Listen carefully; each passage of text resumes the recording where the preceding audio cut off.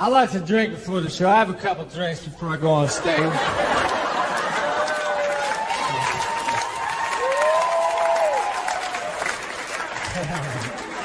Every time people applaud, I'm always going, no, no, no, hold on.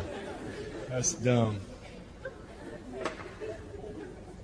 My manager's cool. He gets concerned. He says, Mitch, don't use liquor as a crutch. I can't use liquor as a crutch because a crutch helps me walk.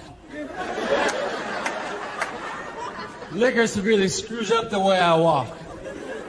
It ain't like a crutch, it's like a step I didn't see.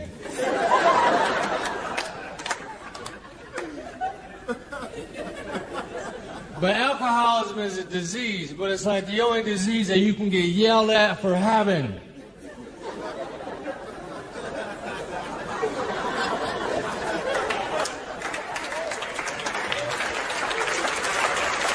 Provocative.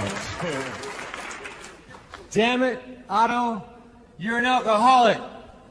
Damn it, Otto, you have lupus. One of those two doesn't sound right.